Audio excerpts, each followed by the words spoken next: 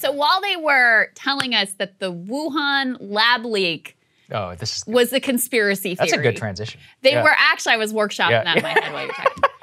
This is the conspiracy theory the media was feeding us about how all of these diplomats around the wor- world, first in Cuba, had been targeted by Russian microwave rays. And they heard this strange sound, and then they came down with these bizarre symptoms, and there were cases of it popping up all over the world.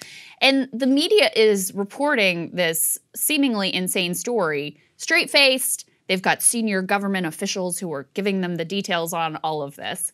And I've long been pretty skeptical of the whole Russian microwave ray theory that was being pushed in the media because obviously, you know, they have their agenda and they have their own CIA handlers that they like to uncritically do stenography for.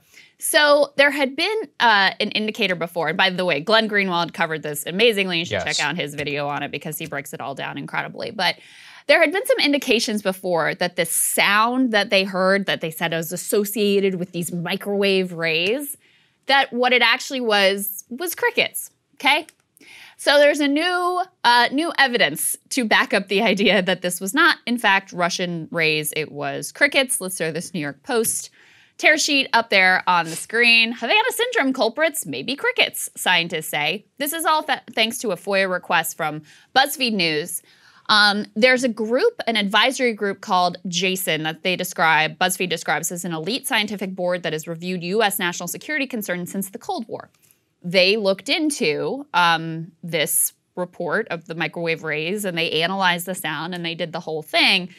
And basically, they also confirmed that it sounds like crickets. They even identified the very specific type of cricket that uh, was emitting this noise as they're doing their mating signals. Anyone who lives in a rural area has certainly heard of similar form of sort of buzzing type of noise. And the interesting thing here too is that the State Depor- Department has had this report for a couple of years. Yes. And yet they continued to feed the media this idea that it was probably Russian microwave rays. Um, and even just recently, uh, on Tuesday, U.S. House of Representatives voted 427 to 0 to pass a Havana Act bill compensating CIA and State Department personnel affected by these incidents.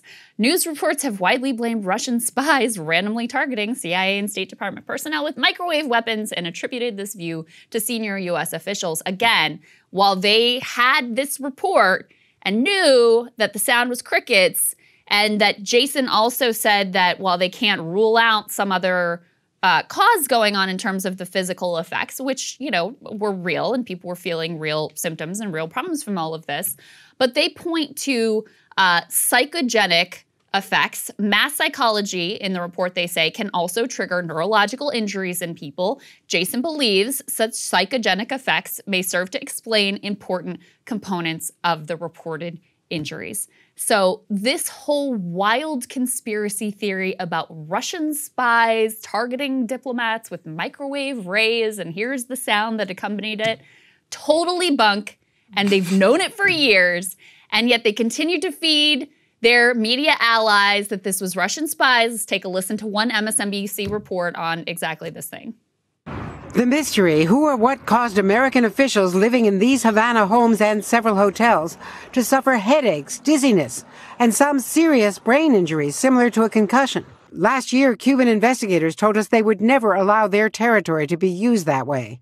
But now Russia is the leading suspect, NBC News has learned, according to three U.S. officials and two others briefed on the investigation. Evidence, they say, backed up by highly secret communications intercepts collected during a lengthy and ongoing investigation involving the FBI, CIA, and other agencies. U.S. officials also tell NBC News investigators now believe the Americans were deliberately targeted. And that was never updated. That, you know, I mean, in fairness, that report was from early on, Right. you know, when there was something going on we didn't know, but they never updated to be like, hey, by the way, we figured it out and it was crickets. So pretty much all of this just shows that the people inside the government are crazy because they literally believe they're being have microwaves being shot at their heads secretly in Havana and With the Russia. technology that we have Right, no with an understanding of or awareness of. Right, with an unknown technology, and that oh, also it's Russia for because reasons. Yes, of course Um, it is. It's Russia. And now Congress is voting aid to the victims when in November of 2018, that same report said at least eight of the 21, so, you know, a decent chunk, are very likely crickets. They also said it was, quote, highly unlikely that it was microwaves. So, what's happening here? I think it really just comes down to some of these people are human beings. Uh, I bet serving as a diplomat in Havana or Russia is probably pretty stressful. Sure, it's very It's a very stressful job. You Yeah. know, you're constantly getting tailed by the FSB or whoever the Cuban secret police is. Same in China. I've talked with some of the people who've ser- served abroad. They really do surveil everything you do. Um, your house is known to be bugged. Your car is definitely bugged. People follow you even with your family when you're at the mall or whatever. Like it, it's a stressful situation. So I don't want to downplay that. But then, you know, one guy starts getting headaches and you're like, oh my God, you know, this is just like Russia in 1962. And then next thing you know, Havana syndrome is a thing. And the media part is the most galling of this because it goes to show that they'll just print anything that they believe, uh, anything the intel community tells them is true it goes to show that they didn't press for anything. This is where I always get it. We also we see leaked documents all the time. All the time. Leaked assessments, State Department. Remember Afghanistan? Everything the p- people ever printed was leaked. Uh, if the media wants to go out and get to the bottom of it, they usually can. It's usually pretty hard in order to hide, you know, especially this. This is a, a internal, you know, eventually they released it by FOIA, so it shows it wasn't even that Yeah, I mean, classified. BuzzFeed was uh, able to FOIA it. So if they were able to FOIA it and get it in three years, that means somebody would have leaked it to you two years ago, obviously. Uh, they just didn't care. They were like, oh, well, the Intel guys who aren't willing to put their names on this are telling us it's Havana syndrome. And so then they created this whole thing. I mean, they had these spooks on TV talking about how it was a classic hallmark of Russian attacks. They had people writing, you know, long profiles of the victims. They had people coming out. The State Department was freaking out. I mean, at one point they were saying the Trump administration had to like confront Russia over the Havana syndrome stuff. Yeah, of course. And it's all just like a fake. It's a it's totally nuts. And that's I think the part that galls me the most is that they knew it at the time. They had a report from people saying that it was not microwaves and they still pushed it because it served an agenda. That's actually the worst and most nefarious part of all of this. Yeah, this report is from several years ago. So they've had this November 2018. And how many more times have we heard, oh, there's another incidence of Havana syndrome. Oh, we've got another one over here, another incidence of Havana syndrome. Because, yeah, it was convenient. It was, you know, suited the de- deep state agenda. The media reports it uncritically, whether they believe it or not. They have no interest in being like, this whole Russian microwave story sounds a little bit strange. yeah. What uh what you got to back that up? Any Yeah. other dissenting views that maybe you could offer me of another explanation here? It really is I mean, I, I don't want to laugh because I'm sure the people, like you said, who actually suffered from it, like, I don't want to diminish. They probably had very real symptoms that they experienced as, you know, i- incredibly painful and incredibly significant. Um, but it's the media's job to ask questions. It's the media's job to be skeptical. Yep.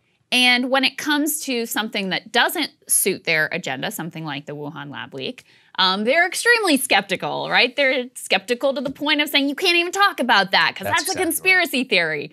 This is a wild conspiracy theory, and they bought it and propagated it hook, line, and sinker, even though the State Department, deep state, knew better for years now. So there you go. Hey guys, thanks so much for watching. That's right. Just as a reminder, you can become a premium subscriber today. Watch the full show completely uncut, our reactions to each other's monologues. You get to listen to it, you get to ask us questions, all that good stuff. Link is right there in the description or at breakingpoints.com. Best of all, great way to say screw you to the mainstream media.